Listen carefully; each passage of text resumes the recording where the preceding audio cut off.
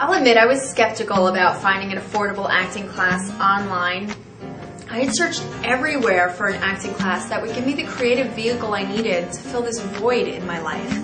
I mean, I just wanted to find a place that could give me free castings and classes taught by, um, I don't know, a guy who's, you know, bald and loves Coors Light and adores camels and is obsessed with Cheap Trick. Then I came across castingsandclasses.com and it was like perfect harmony. And now they're celebrating their sixth anniversary.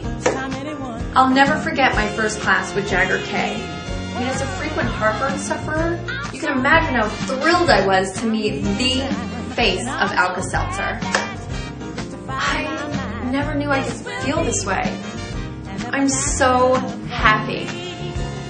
You know, my friends, they might not understand our relationship, but I don't care because that is how we roll.